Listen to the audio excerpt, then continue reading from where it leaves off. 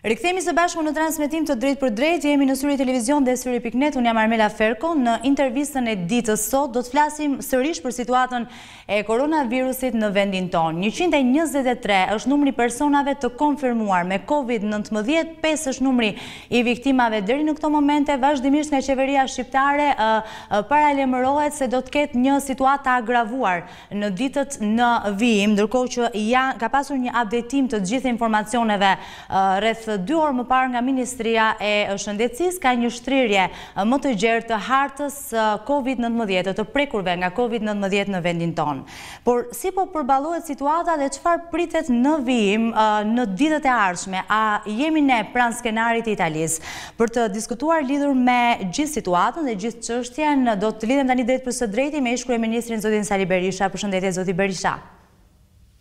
Mirëdita, Armela. Atëherë, zoti Berisha, ju keni qenë i pari që keni paralajmëruar që në datën 22 shkurt se në Shqipëri kishte hyrë koronavirusi. Si e keni siguruar këtë informacion dhe cili ka qenë reagimi i autoriteteve në atë kohë lidhur me këtë informacion dhe këtë alarm? Së pari, ju lutem do të më lejoni t'u shpreh ngushëllimet e mia më të ndjera familjeve të viktimave të koronavirusit dhe t'u uroj që të gjejnë forcë për të përballuar dhimbjen e madhe të shkaktuar nga sëmundja, t'u uroj të shtruarve, të sëmurëve të shtruar shërim të shpejtë dhe të infektuarve gjithashtu shërim, por një urim shumë të veçantë e bëj për të gjithë mjekët e Spitalit Infektiv dhe të të gjitha të të gjithë të urgjencës së vendit dhe të të gjithë Shqipërisë për punën me vetmohim që ata bëjnë këto ditë në mbrojtjen, mjekimin, mbrojtjen e shëndetit tonë, mjekimin e të sëmurëve dhe realisht pjesa dërmuese e tyre përveç se një pakicë pothuajse pa kurrfarë mbrojtje ndaj një virusi me me ngjitshmëri shumë të lartë, por dhe virulencë, agresivitet shumë të lartë. Tani unë e vërteta është që që nga data 7 shkurt dhe gjerë sot mhm. po akoma herët kam publikuar jo dhjetra por mbi një qind e sa statuse në këtë fejsbukun tim, sepse nga mezi i dhjetorit e në vazhdim, kam ndjekur çdo ditë, disa herë në ditë, ecurinë e kësaj epidemie, që për rreziqet e saj, për virulencën e virusit i afrohet asaj të gripit spanjoll. Konstatoja me shumë keqardhje që në Shqipëri nuk lvizte asgjë, ndonëse për çdo njeri besoj unë duhet të ishte e qartë se parandalimi i ardhjes së koronavirusit në Shqipëri ishte mision i pamundur, siç qe i pamundur për njëqind e pesëdhjetë vende të botës dhe mori karakterin pandemik. Por, insistimi im ishte që të bëheshin parapregatitjet më elementare, për mbrojtjen dhe kufizimin nga ky virus. Me kohë dhe që në atë kohë. Po. Shtruar problemin e e maska, mungesës së maskave për personelin mjekësor, të aparaturave për për mjekimin e të smurëve, mungesën totale të karantinës. Ju lutem. Në tetëdhjetë e pesë ditë të epidemisë, autoritetet shqiptare nuk karantinuan qoftë dhe një person të vetëm. Po. Në tetëdhjetë e pesë ditë të epidemisë, ato bënë gjithsejt vetëm një test të Covid nëntëmbëdhjetë. Në tetëdhjetë e pesë ditë të epidemisë, ato absolutisht nuk kufizuan asnjë lloj lëvizje. Kur Italia, kryeministri Conte izoloi dhe kufizoi çdo lëvizje nga dhjetë provincat e infektuara të veriut me zonat e tjera të vendit, Shqipëria nuk mori asnjë masë, paçkase nga Italia hynin dhe dilnin në ditë, hynin në Shqipëri rreth pesëmbëdhjetë mijë vetë, me datën njëzet e pesë shkurt, kam shkrojtur, në një status koronavirusi ante portam. Kam akuzua direkt se Edi Rama dhe zëdhënësi i tij në shëndetësi kërkojnë me çdo kusht ta fusin epideminë në Shqipëri. Kam kërkuar që qytetarët që banojnë në dhjetë zonat që bllokoi Italia, qofshin shqiptarë qofshin të huaj, të mos lejohet të vijnë në Shqipëri. që të gjitha këto, në mënyrë absolute ranë në vesh të shurdhur. Edi Rama, me një qëndrim të paimagjinueshëm, por dhe të papërgjegjshëm, edhe nuk e vlerësoi asnjëherë epideminë. Përkundrazi, që është e pa, është skandal, skandal.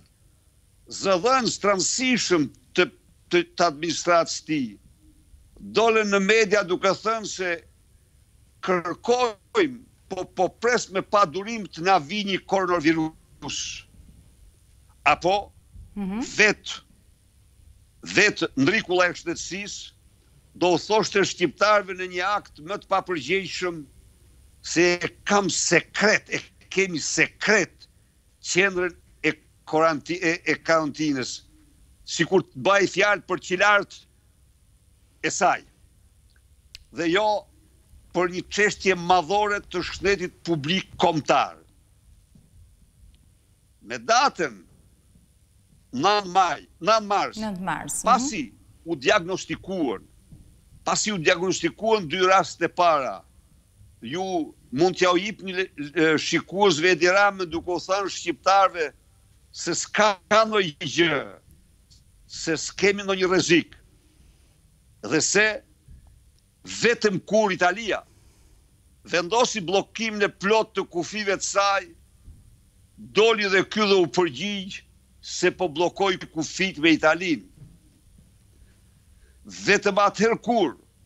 Greqia dhe Italia mbyllën shkollat dhe aktivitetet tjera, Edi Rama bëri të njëjtën gjë, por pasi pesë ditë më parë kishte kërcënuar në mënyrë të egër drejtorin e një shkolle private, i cili mençurisht, mençurisht mbylli shkollën, Dhe u tha nxënësve se do të vazhdojë mësimi online. Për shkollën në Tiranë. Pra, të gjitha këto dhe ajo që është më e rënda është sepse çdo rast që u paraqit,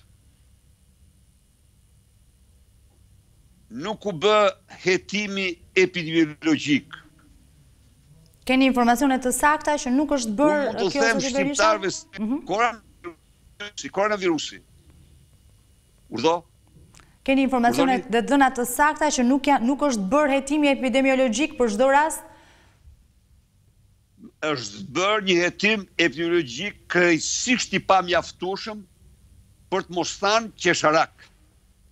Edhe ai vazhdon, ai vazhdon, ju lutem, sot njoftohet se janë janë rreth 19 raste të infektuara të reja, Sot njoftohet se janë bërë gjithsejt shtatëdhjetë e tre teste, në një kohë kur këto nëntëmbëdhjetë raste unë ju garantoj që vetëm familja e Vlorës, që u diktua vetëm familja e Vlorës, po të bëhet hetim i vërtetë epidemiologjik, ka patur minimumi ato katër pjesëtarë, Minimumi pesëqind kontakte të tjera në qytetin e Vlorës. Pra, koronavirusin, epideminë e pritëm me një sasi shumë të kufizuar të kiteve për testin e tij, e pritëm me një centralizim unik në botë.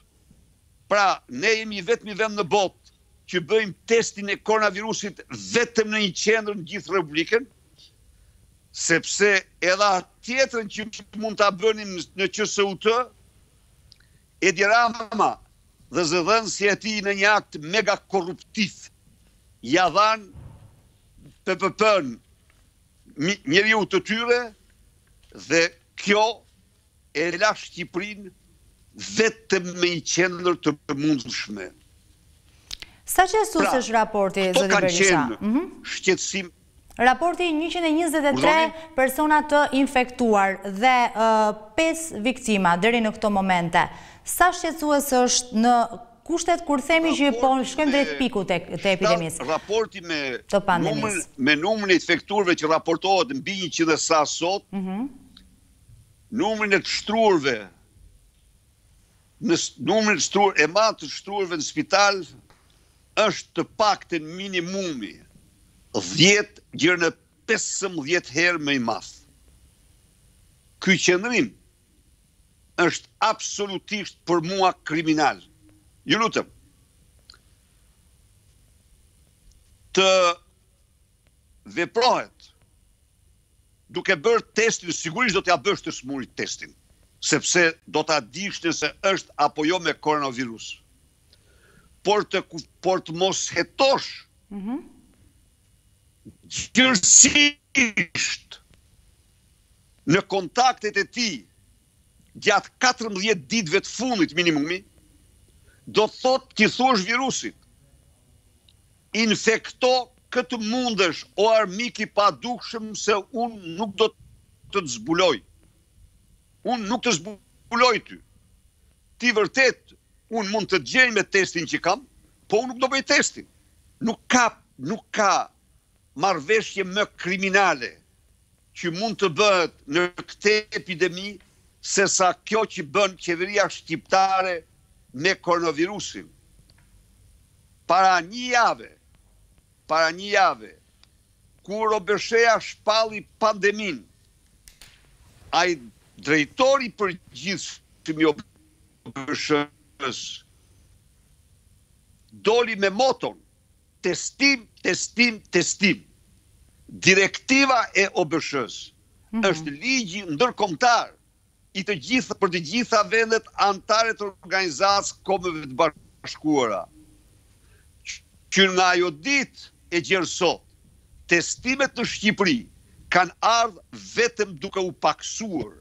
Kështu, për njëzet e sa të infektuar të zbuluar, Dje në mos gaboj janë testuar gjithsejt shtatëdhjetë e dy, shtatëdhjetë e tre persona në një kohë kur duhet të testoheshin.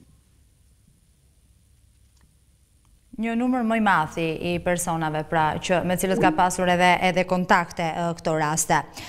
Duke Mbetur sërish tek e njëjta çështje, do të rikemi sërish, do të ndalemi sërish pra tek çështja e testimit, e testimit që i bëhet të infektuarve apo pretendimet dhe kërkimet apeli që bëhet vazhdimisht për të për t'iu nënshtruar testimeve më shumë se sa kaq. Pra po flasim për të gjithë kontaktet, kontaktet të cilat kanë pasur përgjatë 14 ditëve të fundit personat e konfirmuar me Covid nëntëmbëdhjetë dhe duke u ndalur edhe një herë tek tek kjo temë, pra po flasim pikërisht për faktin se sa persona duhet të testohen në momentin kur konfirmohet një person me koronavirus në vendin tonë. Ka pasur shumë debate përgjatë ditëve të fundit lidhur me këtë çështje, kujtojmë edhe një herë tjetër Ka pasur dhe një thirrje nga Organizata Botërore e Shëndetësisë, zoti Berisha sapo përmendi rastin e drejtorit të Organizatës Botërore të Shëndetësisë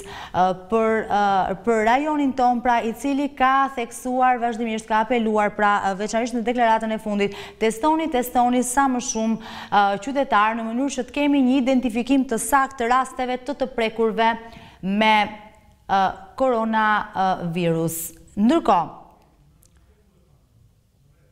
Do të vijojmë të flasim Zoti Berisha pra për vijojmë të flasim Zoti Berisha për testimet. Ju përmendët thirrjet që ka bërë drejtori i Organizatës Botërore të Shëndetësisë dhe unë dua t'ju pyes këtu, pa dashur t'ju ndërpres mendimin tuaj që në informacionet që ju keni, si është situata për tamponet në Shqipëri?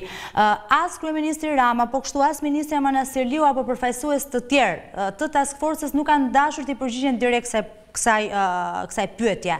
Pa dashur t'ju ndërpres mendimin, pra po flisim për testimet. Informacionet që kam unë, kitet janë shumë deficitare.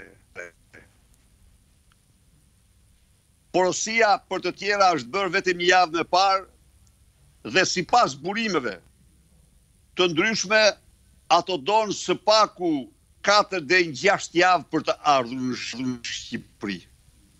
Mundet të gjejnë dhe më shpejt, por unë këto të dhëna kam.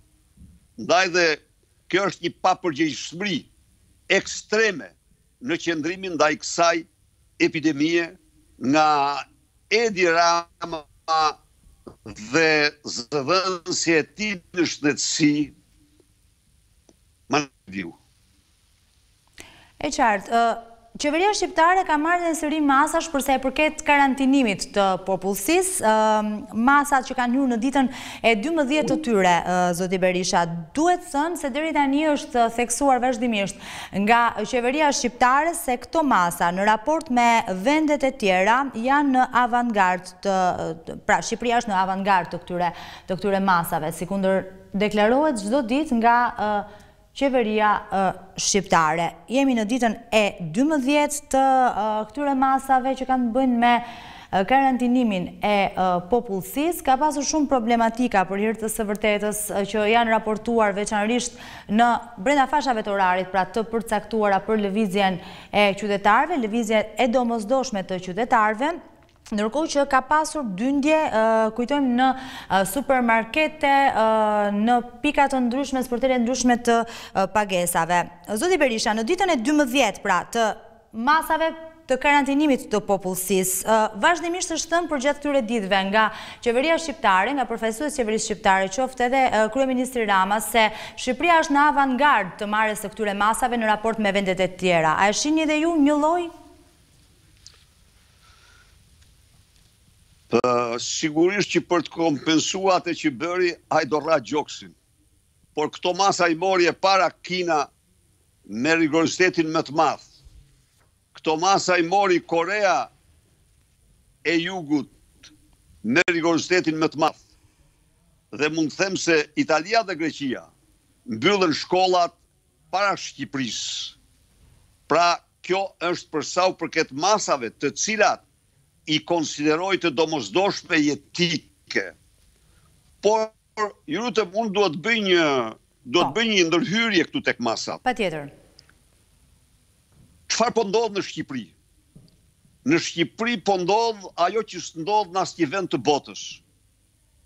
Shqiptarët, qytetarët shqiptarë janë sot objekt i dy agresioneve të rënda, të pamëshirshme. Epidemisë së koronavirusit dhe epidemisë së panikut, dhunës dhe terrorit psikologjik shtetëror që mbjell çdo orë dhe çdo ditë si asnjeri tjetër në botë përveç Kim Jong Unit, Edi Rama është jashtë çdo lloj imagjinate për ata të cilët njohin abecën e psikikës njerëzore. Në një moment kritik të epidemisë së Covid nëntëmbëdhjetë, të shndërrohesh në gjenerator të paimagjinueshëm paniku, tmerri dhe frike, t'u servirish qyetarëve tu skena horror, si të marrë në filmat horror apo nga grupet terroriste, Grumbujsh arkivole, t'u flasish për ditën e kiametit, për helikopter bomba kamikaze. Ju lutem, ky është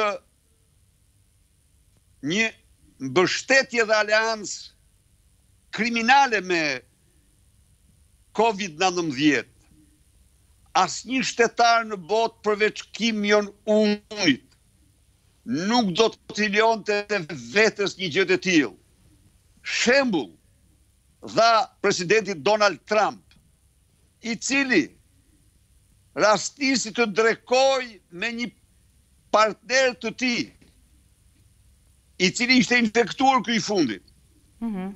U tha amerikanëve se miku im ishte infektuar, unë do bëj Covidin testin E bëri, u tha amerikanëve unë e bëra, i erdhi rezultati, i njoftoi amerikanët se më doli negativ dhe çdo ditë, dy ose tre herë në ditë, jo nga vrima e miut, por nga zyra ku amerikanët duhet të kenë njeriun që votuan dhe zgjodhën për president, ai u flet atyre, me sallën plot me gazetarë, merr pyetje dhe jep përgjigje, po në këtë shembull veprojnë, konstatoj, absolutisht të gjithë kryeministrat e Europës, Ballkanit dhe vendeve tjera të botës. Kurse Edi Rama zgjodhi terrorin, panikun në mënyrë që të bëjë që shqiptarët të harrojnë papërgjegjësinë e tij të plotë për tetëdhjetë e pesë ditë me radhë të kësaj epidemie. E kam dënuar dhe e dënoj me ashpërsinë më të madhe. Shfrytëzoj rastin që në valët e ekranit të televizionit tuaj t'u bëj thirrje qytetarëve shqiptarë. Po, me sa duket kemi një një një shkëputje në linjë, po do të vijojmë dhe do të flasim në fakt lidhur me këto masa që kanë të bëjnë me karantinën, jemi në ditën e 12 të saj. Po, jemi sërish së bashku, zoti Berisha, mund ta vijoni.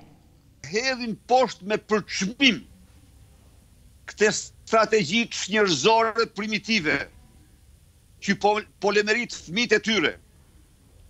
Ju e patë dje publikova një mesazh ku një vajzë 5 vjeçare më thoshte Edi Rama është një talking disaster. Pra, Me fjalë të tjera, i përftyrohet asaj si gogol me ato që thotë. Të tjerë thonë, po na smur ky, harron se në tre milionë njerëz ka njerëz me probleme të gjithanshme.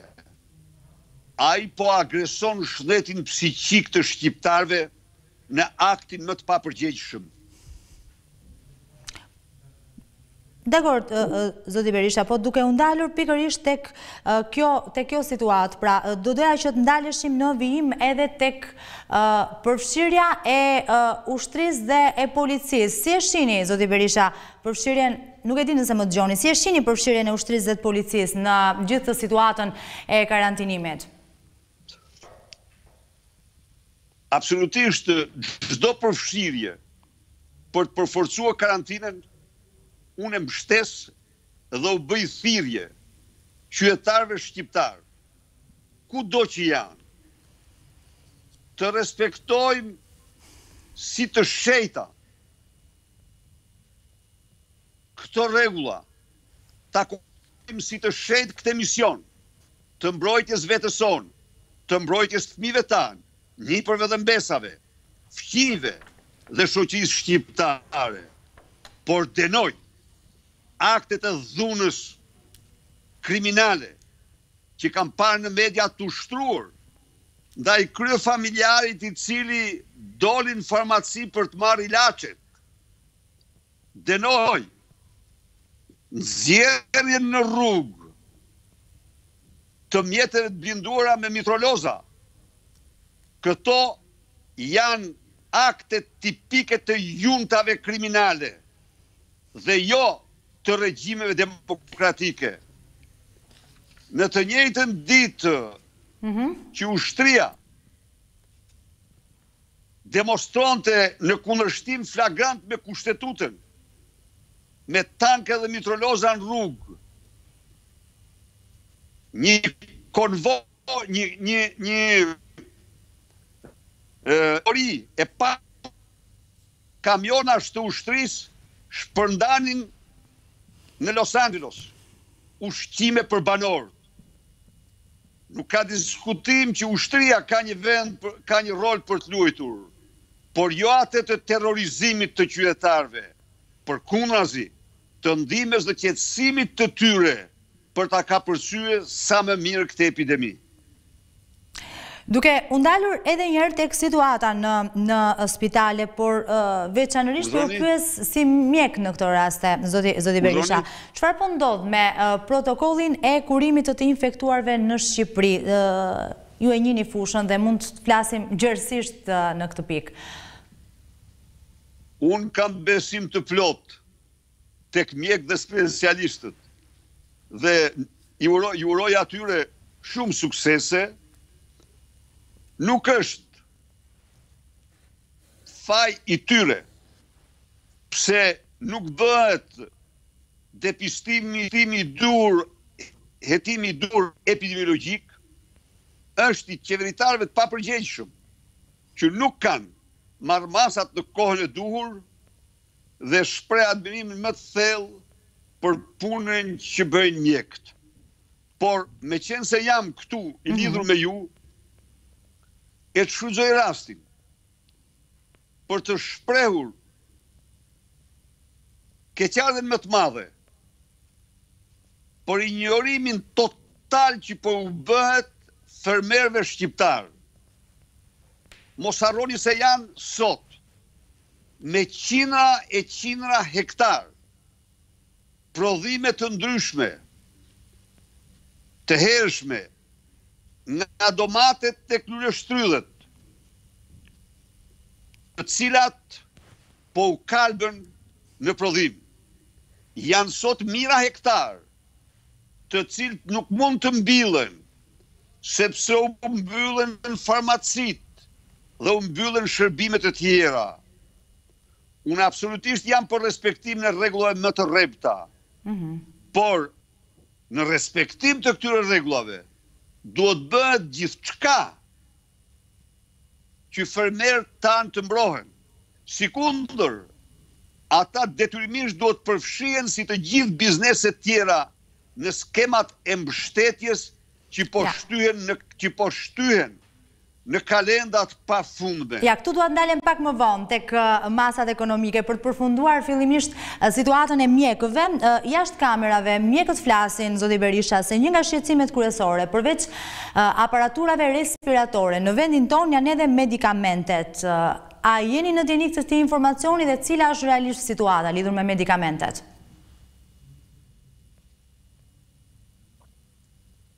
Unë saktësisht nuk jam në dijeni, mendoj se sasira të pakta duhet të kenë ekzistuar të plakenilit, i cili është një medikament që është përdorur që kur kam filluar mjekësinë unë hmm.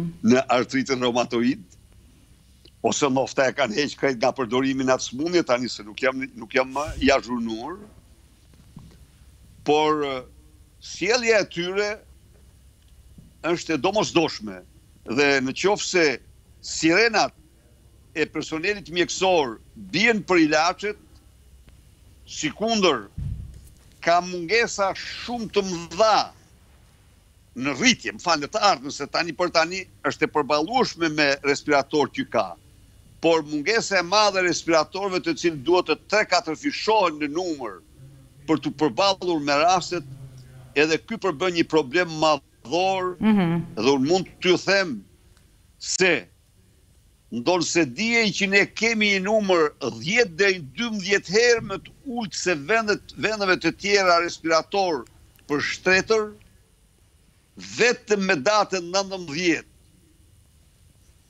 është ftuar një kompani sipas një tenderi të hapur me datën tetëmbëdhjetë dhe mbyllur me datën nëntëmbëdhjetë dhe kuptohet vetë se çfarë praktike është kjo për respiratorë të cilët nuk dihet se kur mund të vijnë. Ju keni ngritur disa herë shqetësimin e mungesës së mbrojtjes së mjekëve që janë në vijën e zjarrit. Fakt është që vendi ynë ka mesatarisht 9 deri në 10 mjekë nga informacionet që ne kemi, mjekë dhe infermierë që janë tashmë të infektuar nga koronavirusi.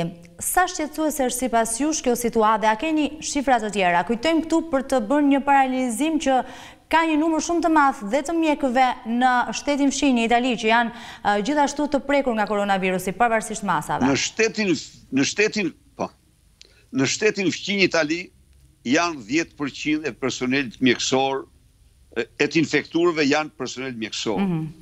Në Shqipëri ju garantoj se kjo shifër po të vazhdohet në këtë mënyrë do të jetë tre do të jetë dy ose tre herë më e lartë dhe aktualisht sipas disa të dhënave që kam ka shumë më tepër se ç'raportohet personel shëndetësor të infektuar. Nuk unë gjeta një ditë më informuan shtatë punonjës të shëndetësisë që kishin trajtuar të sëmurë me covid, dhe që prej katër ditësh prisnin për të bërë testin dhe testin nuk ja u bënte njeri. Kjo situatë është në mbarë Shqipërinë dhe kjo është një situatë shumë dramatike. Po manipulohet në mënyrë të paskrupullt. Po manipulohen të dhënat. Pse sipas jush? Në sanatorium disa thonë janë Njëmbëdhjetë, të tjerë thonë janë gjashtëmbëdhjetë, por një gjë është e sigurt, shkalla e infeksionit në atë institucion është ajo e një bombe virale dhe që në fillim, që në fillim denoncova para publikut me bërjen tmerrësisht të kufizuar test të testit tek punonjësit e atij institucioni. Ndërkohë kur bënë gjithsej shtatëmbëdhjetë teste një ditë thanë, ata duhet të bënin të paktën minimumi pesë gjashtëqind teste për punonjësit, personelin dhe familjarët e tyre. Kështu që mungesa e testit është bërë sot aleati më kryesor i koronavirusit së bashku me panikun që mbjell çdo orë dhe çdo ditë në Shqipëri, Edvin Kristaq Paniku. Pritet që të zhvillohet mbledhja e Këshillit të Sigurisë Kombëtare, zoti Berisha, ku pritet të jetë i pranishëm edhe kreu i Partisë Demokratike, zoti Basha, përveç të tjerëve që dihet që tashmë do të jenë në këtë në këtë mbledhje. Si e cilësoni? Është e vonuar, është në kohën e duhur? Unë mendoj se mbledhja është e mirëpritur dhe Ajo çka unë pres nga pres nga ky takim një ndryshim të madh në transparencën ndaj zhvillimeve në vend. Në transparencën ndaj në qëndrimin ndaj sëmundjes, në transparencën në qëndrimin ndaj masave dhe uroj që propozimet jashtëzakonisht të rëndësishme, të dobishme dhe të vetmet që mund të japin një përgjigje imediate kësaj situate, ato të opozitës të merren parasysh, çka është shumë, shumë, shumë e dyshimtë që t'i marrë Edi Rama parasysh. Duke pasur parasysh dhe faktin që propozimi kryesor i këtyre ditëve të fundit ka qenë shpallja e gjendjes së emergjencës së fatkeqësisë natyrore, apo jo? Pse sipas jush duhet të shpallet? Ditët e fundit kanë qenë ditë kryekëput një akt në shkelje të Kushtetutës. ka patur një gjendje të jashtëzakonshme gjer me datën dy mars dhe pas skadimit të kësaj, çdo akt, çdo ligj, çdo kufizim i të drejtave të qytetarëve është në kundërshtim flagrant me Kushtetutën. Pse s'e shpall Sepse u ngujua në vrimen e miut, dhe prandaj nuk e shpallte, sepse ai mendonte se, meqenëse nuk mund të dilte nga vrima e miut, mund të bënte ç'të donte nga sarajet e Surrelit dhe e shndërroi këtë vend në Republikë të Surrelit e më zi. E qartë, duke u ndalur tek situatat me të cilat ju jeni përballur, kur keni qenë vetë kryeministër të paktën në dy raste jeni përballur me epideminë virale dhe një rast të kolerës gjatë kohës që keni mbajtur postin e presidentit të Republikës. Si po e menaxhon qeveria aktuale situatën duke pasur parasysh se si asnjëherë tjetër kemi një pandemi që ka gjunjëzuar gjithë botën zoti Berisha, duke u ndalur këtu edhe tek masat financiare që ka paketën e parë të paktën që ka kaluar, që zoti Rama e quan planin A. Nga në rrafshin e parapregatitjeve për përballim, unë mendoj se ato ishin zero. Pas shpërthimit të epidemisë, aplikimi i masave të rekomanduara nga OBSH-ja për vetëizolimin, për distancimin social, izolimin dhe karantinën është një domosdoshmëri për çdo qytetar dhe unë u bëj thirrje qytetarëve t'i respektojnë me rigorozitet. Për sa përket Masave të tjera ato gjer tani janë afër zeros. Nuk them se janë zero, po janë afër zeros. Unë nuk di njeri që të ketë marrë një mbështetje sociale rrogëtar një pagë tetëdhjetë për qind për shkak të,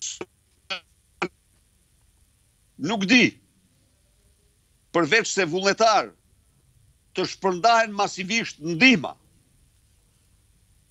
nuk shoh të bëhet dizinfektim po lexoja parë se narko bashkiaku i Lezhës propozonte më falni për shprehjen por qiqra në hell njëlloj si ky lalpleu i Tiranës në një kohë kur nuk bëjnë një dizinfektim elementar në një kohë kur detyra kryesore e tyre është të zhdukin plehrat dhe jo t'u thonë qytetarëve se Koronavirusi s'ka punë me plehrat. Nuk ka koncept më injorant, më të papërgjegjshëm se ky. Pra, mund të them se narko. Qeveritë lokale janë absolutisht krejtësisht të çarmatosura dhe inaktive në tërësinë e tyre me ndonjë përjashtim ndaj kësaj epidemie, ku ata kanë detyrë kryesore të bëjnë gjithçka për të mbrojtur qytetarët dhe qytetarët të mbrohen duke iau pastruar rrugët, duke iau larë rrugët, duke dizinfektuar rrugët, duke evakuuar plehrat, pra duke kryer detyrat më elementare të higjienës së komunitetit. Dhe pyetja ime e fundit ndalet pikërisht këtu. Ju e nisët pak më parë, po jua ndërpreva që ta diskutonim pikërisht tani. Paketën ekonomike të propozuar Nga zoti Rama, ato çfarë është deklaruar deri tani, si e shihni dhe çfarë rreziku shihni për sa i përket biznesit apo të ardhmes ekonomike në muajt e ardhshëm? E vështirë. Unë si paketë ekonomike çmoj paketën e opozitës. Ndonëse do shtoja një rrogë shtatëdhjetë apo tetëdhjetë përqind për të gjithë shqiptarët që janë në punë. heqjen e menjë, ndalimin e menjëhershëm të të gjitha koncesioneve përveç atij të veshkave të hemodializës, ndërprerjen e menjëhershme të të gjitha punimeve publike në Shqipëri, përqendrimin e të gjitha fondeve, për të shpëtuar vendin nga kjo epidemi. Çlirimin e madh fiskal të bizneseve dhe mobilizimin e gjitha rezervave të këtij shteti që ta kalojmë me sa më pak dëme.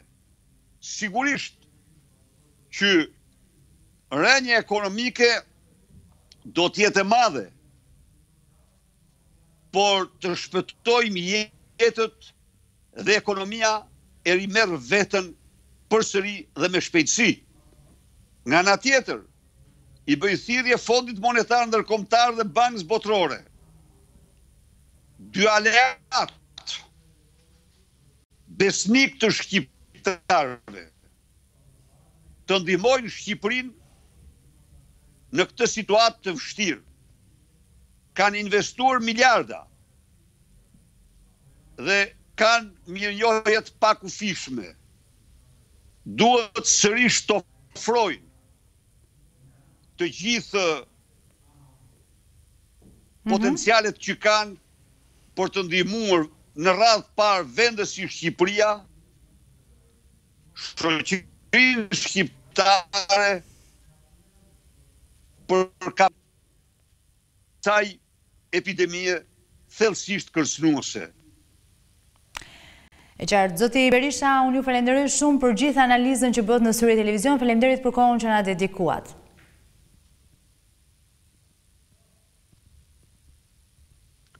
Faleminderit dhe përshëndes të gjithë ata që na ndoqën.